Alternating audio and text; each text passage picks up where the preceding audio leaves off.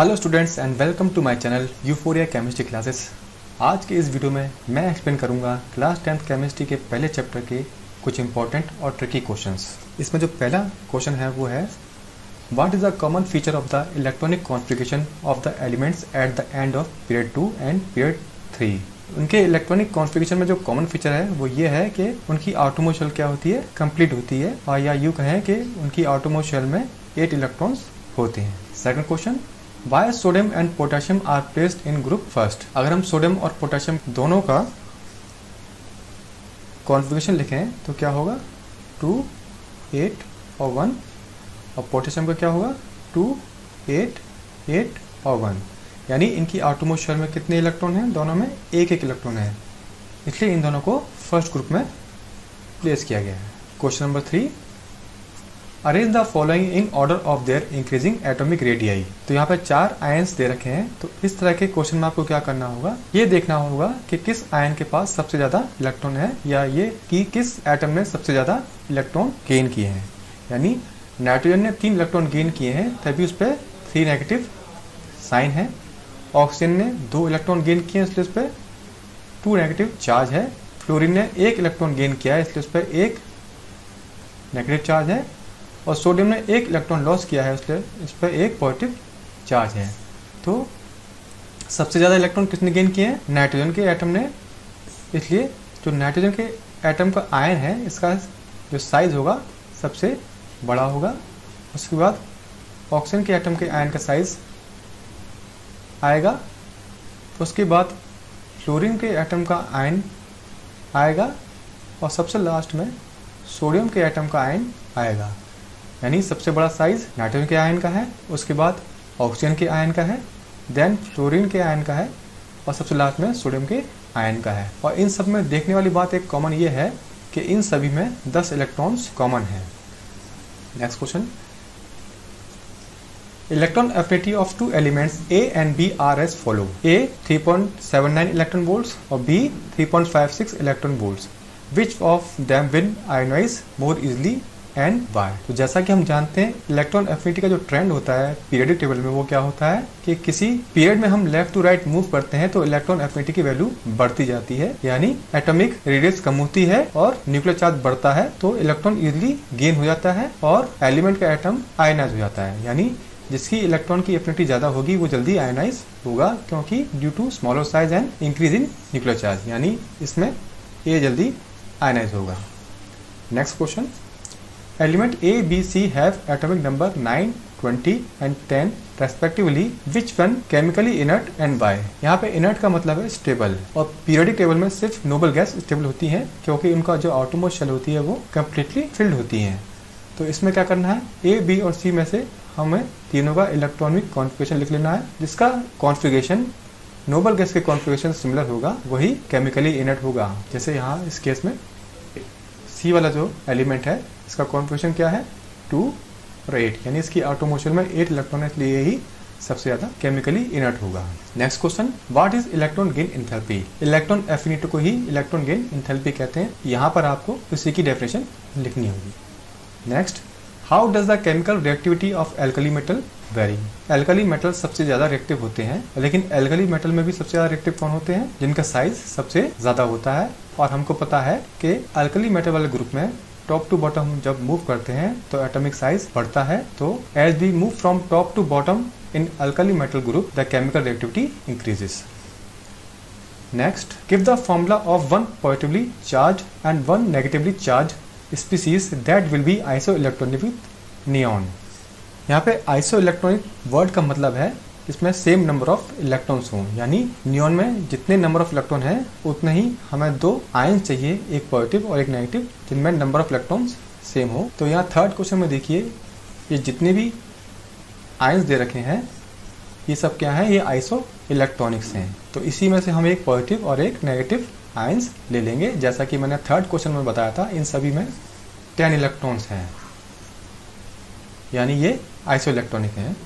Neon के इसी में से आप कोई भी एक पॉजिटिव और एक नेगेटिव आयंस ले सकते हैं। आइसो इलेक्ट्रॉनिक आयन क्या होते हैं? Those ions which have same number of electrons उसको हम कहते हैं आइसो इलेक्ट्रॉनिक आयंस या species question nine in the third of the periodic table element B is place to the left of element A यानी A जो element है B उसके left में यानी हमारे लेफ़्ट में हम जब पीरियडिक टेबल देखते हैं तो बी ए के लेफ़्ट में होना चाहिए। और इसी बेसिस पे क्या पूछ रहा है? On the basis of this information choose the correct word from the bracket to complete the following statement पहला क्या है? Element B would have higher or lower metallic character than A हमको पता है, जैसे हम ग्रुप में लेफ़्ट राइट मूव करते हैं तो मेटेलिक करेक्टर डिक्रीज होता है। तो यानी element B would have higher metallic character than A next element A would probably have lesser or higher electron affinity than B ये ए वाला पीरियड में राइट हैंड पे है, यानी बी से बाद में आता है तो यानी ए वाले की इलेक्ट्रॉन एफिनिटी ज़्यादा होगी, यानी higher element A would have smaller or greater atomic size than B A वाले का साइज़ जो होगा, वो बी से स्मॉलर होगा. नेक्स्ट क्वेश्चन ऑक्सीजन, जिसका एटॉमिक नंबर आठ है, और सल्फ़र जिसका एटॉमिक नंबर 16 है belong to the same group of the periodic table on the basis of their electronic configuration name the periods in which this element occur इस question में क्या करना है आपको? इन दोनों का सबसे पहले आप इलेक्ट्रॉनिक कॉन्फिगेशन लिख लें। जैसे ऑक्सीजन का क्या होता है? टू और सिक्स और सल्फ़र क्या होता है? टू एट और सिक्स तो ऑक्सीजन में कितनी शेल हैं? दो शेल हैं। के और एल तो इसका जो पीरियड होगा, वो सेकंड पीरियड होगा। जितनी नंबर ऑफ़ सेल होती हैं, उतना पीरियड का नंबर होता है।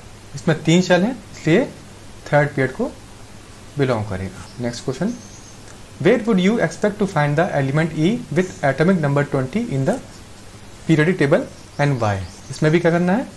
आपको उसकी पोजिशन बतानी है कि वो कौन से ग्रुप में होगा। तो यहाँ भी हम क्या करेंगे? इसका इलेक्ट्रॉनिक कॉन्फ़िगरेशन लिख लेंगे। क्या होगा इसका electronic configuration two, eight eight और टू। यानी ये चार सेल हैं, यानी ये फोर्थ पीरियड को बिलोंग करता है। और इसकी ऑटोमोशन में दो इलेक्ट्रॉन है, यानी ये सेकंड ग्रुप का है। तो सेकंड ग्रुप कौन सा ग्रुप है? एल्कलाइन अर्थ मेटल यानी ये जो एलिमेंट ई है, ये अल्कलाइन अर्थ मेटल को बिलोंग करता है। Next question the element A and B have electronic configuration two और two six respectively to which period A and B belong तो कौन से पीरियड को बिलोंग करेंगे? इनकी नंबर ऑफ़ शेल काउंट कर लेंगे। एक, दो, तीन, चार, यानी जो ए वाला है, वो फोर्थ पीरियड को बिलोंग करता है और जो बी वाला है सेकेंड पीरियड को बिलोंग करता है। To which group A and B belong. Group के नंबर देखने के लिए हम ऑटोमोशल में इलेक्ट्रॉन देखेंगे। कितने इलेक्ट्रॉन है ऑटोमोशल में? एक ही में। दो हैं। तो ये सेकंड ग्रुप को बिलोंग करता है। और इसकी में सिक्स इलेक्ट्रॉन है ऑटोमोशल में। तो ये सिक्स ग्रुप को बिलोंग करता है। Next question fill in the blank spaces with the appropriate word element of group first are called first group के एलिमेंट को क्या कहते हैं? Alkali metals alkali metals, and these are good reducing agent, whereas the element of group 17 are called halogen. 17 group element को halogen कहते हैं and they are good oxidising agent मैंने आपको ट्रिक बताई थी मिस्टर नो ये मिस्टर नो यानी metals are good reducing agent non metals are good oxidising agent next question the vertical column of the the vertical column are called groups the horizontal rows are called period अगर आपको याद करने में problem होती है तो मैंने आपको एक ट्रिक बताई थी, आपको याद होगा। अगर आपने मेरे पहले के वीडियो देखे होंगे तो यानी पंजाब, हरियाणा और राजस्थान, यानी पीरियड्स आर ओरिएंटल रो तो ग्रुप के बारे में आपको पता चली जाएगा कि ग्रुप के are vertical column next question the elements of one short period of the periodic table are given below in the order from left to right यानी ये एक ही पीरियड के एलिमेंट्स हैं। ये हमें क्वेश्चन में दे रखा है। पहला क्या पूछ रहा है? To which period do these elements belong इसके लिए हम क्या करेंगे? हमको पता है ये सब एक ही पीरियड को बिलोंग करते हैं। तो हम किसी भी एलिमेंट को ले लेंगे। इलेक्ट्रॉनिक कॉन्फ़िगरेशन निकालेंगे। तो हम लिथियम को ले लें। इसका एटॉमिक नंबर क्या होता है? थ्री तो कॉन्स्टिगेशन क्या होगा? टू और वन। दो शेल हैं तो ये यानी ये सब सेकेंड पीरियड को बिलोंग करते हैं। अब दूसरा क्वेश्चन क्या है? On which one element of this period is missing where should it be placed तो इसके लिए हमें क्या करना पड़ेगा? हमें सबका एटॉमिक नंबर पता होना चाहिए। लिथियम का तीन एटॉमिक नंबर है बेरिलियम का चार बोरोन का पाँच कार्बन का छः ऑक्सीजन का आठ है क्लोरीन का नौ है और नियम का दस है। यानी कौन मिसिंग हो रहा है? नंबर सेवन मिस हो रहा है। तो नंबर सेवन मिस हो रहा है तो सात एटॉमिक नंबर किसका होता है? नाइट्रोजन का होता है। यानी जो मिसिंग एलिमेंट है वो कौन सा है? नाइट्रोजन है और वो कहाँ आएगा? बिलोंग करेगा कार्बन और ऑक्सीजन के मिडिल में। Third which element belong to halogen series यानी कौन सा एलिमेंट हेलोजन सीरीज़ को बिलोंग करता है? यानी नाइन्थ वाला, यानी नियोन के बिल्कुल पास वाला। सेवनटीन ग्रुप वाले जो होते हैं, वो क्या होते हैं? वो हेलोजन ग्रुप के एलिमेंट्स होते हैं। Next question the atom of sodium इसका एटॉमिक नंबर है 11 is bigger than the chlorine atomic number 17 यानी सोडियम जिसका एटॉमिक नंबर 11 है, उसका साइज़ बड़ा क्या है? क्लोरीन जिसका एटॉमिक नंबर 17 है. तो हमको पता है, जैसे हम किसी पीरियड में लेफ़्ट टू राइट मूव करते हैं तो एटॉमिक साइज़ डिक्रीज होता है. सोडियम और क्लोरीन दोनों एक ही पीरियड को बिलोंग करते हैं इनमें नंबर ऑफ़ शेल्स सेम है लेकिन जैसे हम लेफ़्ट टू राइट मूव करते हैं किसी पीरियड में तो न्यूक्लियर चार्ज बढ़ता है इसी कारण जो सोडियम का जो साइज़ है वो बड़ा है एज कंपेयर टू क्लोरीन क्योंकि इसका न्यूक्लियर पुल कम है और क्लोरीन का साइज़ छोटा है क्योंकि इसका न्यूक्लियर पुल ज़्यादा है next question With reference to the long form of periodic table, fill in the blank spaces with appropriate words given within the bracket. A क्या है A? Chemical properties of an element are the periodic function of their atomic number और atomic weight यहाँ आप लगाएँगे atomic number क्योंकि long form of period table की बात हो रही है। बी क्या है? The serial number of an element in the period table is also its atomic number periodic table में जो सीरियल नंबर है, वही एलिमेंट के एटम का एटॉमिक नंबर है। सी क्या है? The number of electrons in the valence shell of an atom represent its group यानी वैलेंस शेल यानी जो लास्ट सेल होती है, उसमें जो इलेक्ट्रॉन होते हैं, वो रिप्रेजेंट करते हैं ग्रुप को पीरियडिक टेबल में। डी क्या है? The number of electrons shells around the nucleus of an atom represent its period यानी शेल का जो नंबर होता है, वो क्या रिप्रेजेंट करता है? पीरियडिक नंबर को। ई डैश एंड अल्कलाइन यानी अल्कलाइन दिया हुआ है, यानी alkali and alkaline earth metals are place in the first A group and the second A group, respectively, on the left hand side of the periodic table. F क्या है? Metallic और non-metallic elements are placed on the right hand side of the periodic table. जैसे हम left to right move करते हैं तो metallic character decrease होता है। तो यानी जो मेटल्स हैं, वो पीरियडिक टेबल में उनको लेफ़्ट हैंड साइड में रखा गया है, और जो नॉन मेटल है, उनको पीरियडिक टेबल में राइट हैंड साइड पे रखा गया है। यानी इसका आंसर क्या हुआ? Non metallic elements are place on the right hand side of the periodic table G. The element occupying left and right wing vertical column are called normal elements. यानी यहाँ पे S और P ब्लॉक एलिमेंट्स की बात हो रही है, जिनको लेफ़्ट और राइट विंग में रखा गया वर्टिकल कॉलम में इन पीरियडिक टेबल नेक्स्ट क्या है हमारा? नोबल क्या होती है? गैसेस होती हैं। मेटल नहीं होते। Noble gases are placed in seventh group in the last column of the periodic table noble gas क्या है? ये ग्रुप है।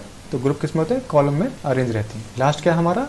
The first period has eight or two elements in and is called a short or very short period जो first period है, हमको पता है, उसमें सिर्फ़ दो एलिमेंट्स हैं, इसलिए इसको वेरी शॉर्ट पीरियड कहते हैं।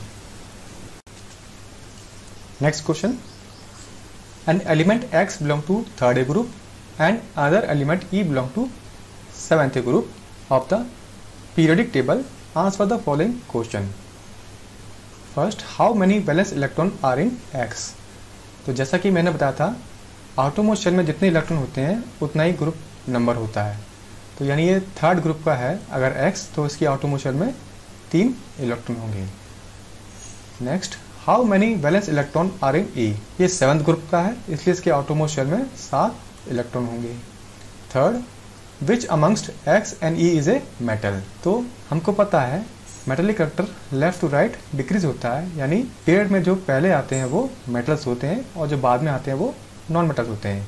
यानी थर्ड ए ग्रुप पहले आता है तो ये मेटल है, यानी X belong to metals next question Arrange the element in the periodic table such that the least metallic element comes first and the most metallic element comes last. यानी ये हमें टेबल दी हुई है, इसमें एटॉमिक रेडियस दी हुई है elements की और हमें इनको अरेंज करना है कि जो लीस्ट मेटेलिक एलिमेंट होगा वो पहले आना चाहिए और जो मोस्ट मेटेलिक एलिमेंट है वो बाद में आना चाहिए। तो हमको पता है कि पीरियड में atomic radius left to right increase होती है और metallic vector left to right decrease होता है। यानी जिसका साइज़ सबसे बड़ा होगा वो मेटेलिक होगा और जिसका साइज़ सबसे छोटा होगा वो नॉन मेटेलिक होगा। तो सबसे लीस्ट मेटेलिक कौन है इसमें? जिसका साइज़ सबसे छोटा होगा। यानी आर आर सबसे लीस्ट मेटेलिक है। और सबसे बड़ा कौन है? क्यू क्यू सबसे ज़्यादा मेटेलिक है। तो बचा कौन सा? पी पी की एटॉमिक रेडियस क्या है? 1.86 यानी ये 2.31 और 1.52 के बीच में लाई करती है। यानी जो पी है, वो क्यू के बाद आता है। यानी आर सबसे लीस्ट है मेटेलिक उससे ज़्यादा मेटेलिक पी है और सबसे ज़्यादा मेटेलिक क्यू है। तो उसको अरेंज कैसे करना है? आर सबसे लीस्ट है देन पी थोड़ा मेटेलिक है और क्यू सबसे ज़्यादा मेटेलिक है। Next why sodium is referred to as a normal element sodium को नॉर्मल एलिमेंट क्यों कहते हैं? क्योंकि इसकी आटोमो शेल इनकम्प्लीट है, इसलिए इसको नॉर्मल एलिमेंट कहते हैं। Next why atoms of metal and non metal are reactive metals और नॉन मेटल के एटम होते हैं, वो रिएक्टिव क्यों होते हैं? फिर से बताता हूँ आपको, कोई भी एलिमेंट का एटम जो मिनिमम नंबर ऑफ़ इलेक्ट्रॉन को गेन करके या मिनिमम नंबर ऑफ़ इलेक्ट्रॉन को लॉस करके नियरेस्ट नोबल गैस कॉन्फ्लिकेशन को अटेंड करेगा तो वो रिएक्टिव होगा। तो पीरियोडिक टेबल में जो फ़र्स्ट ग्रुप है और जो सेवेंथ ग्रुप है, उन्हीं के एलिमेंट सबसे ज़्यादा रिएक्टिव है। फ़र्स्ट के एलिमेंट सबसे ज़्यादा रिएक्टिव क्यों है? क्योंकि इनको सिर्फ़ एक इलेक्ट्रॉन लॉस करना पड़ता है अपना nearest noble gas configuration attend करने के लिए, और इनको एक इलेक्ट्रॉन गेन करना पड़ता है nearest noble gas configuration attend करने के लिए। इसलिए फ़र्स्ट ए ग्रुप और सेवन्थ ए ग्रुप ज़्यादा रिएक्टिव है। और इसमें ही बात की जाए तो फ़र्स्ट ग्रुप में और सेवन्थ ग्रुप में सबसे ज़्यादा रिएक्टिव कौन है? फ़र्स्ट ग्रुप में वो सबसे ज़्यादा रिएक्टिव होंगे, जिसका साइज़ सबसे बड़ा होगा, क्योंकि जितना बड़ा साइज़ होगा, उतनी इजिली वो इलेक्ट्रॉन को लॉस करेगा और नोबल गैस का कॉन्फिगेशन अटेंड करेगा। और सेवन ग्रुप की बात करें तो वो सबसे ज़्यादा रिएक्टिव होगा। जिसका साइज़ सबसे छोटा होगा, क्योंकि उसका न्यूक्लियर पुल ज़्यादा होगा, इसलिए वो इलेक्ट्रॉन को सबसे पहले गेन करेगा। यानी फ़र्स्ट ग्रुप में जिसका साइज़ सबसे बड़ा होगा, वो सबसे ज़्यादा रिएक्टिव होगा। और सेवंथ ग्रुप में जिसका साइज़ सबसे छोटा होगा, वो सबसे ज़्यादा रिएक्टिव होगा। Next question fill in the blanks space with appropriate words or word इसमें ए क्या है? Periods are dash horizontal row of element in the periodic table यानी कितने पीरियड हैं? पीरियडिक टेबल में seven horizontal rows of element in the periodic table next question B an element with three electron shells and two valence electrons belong to period dash and group dash यानी third shell है तो third period और two valence electron है, यानी to a second group. Next, from left to right in a period the number of shell remains same. Next, across a period the dash electrons increase by 1 while down the subgroup they remain dash. Yani across the period valence electrons increase by 1 while down the subgroup they remain same. Next. Across the period, the electropositive vector decreases and down the group, electronegative vector also decreases. Next, elements at the extreme left of the modern period table are more reactive. यानी यहाँ पे alkali metals की बात हो रही है while the elements on the extreme right are unreactive. यानी यहाँ पे नोबल गैस की बात हो रही है। नोबल गैस जो होती हैं, इनकी ऑटोमोशल कंप्लीट होती है, इनका ऑक्टेट और डुप्लेट पूरा होता है, इसलिए अनरिएक्टिव होती हैं। Next elements of group first are strong reducing agent since they lose electron easily बताया था मैंने metals are reducing and and non metals are oxidizing and यानी mister no. Next, an element in group 7th or 17 which is in liquid state at room temperature is bromine. Bromine room temperature पर liquid होती है जो कि seventh group को belong करती है। Periodicity periodicity in properties is observe in elements after definite interval due to similar number of valence electrons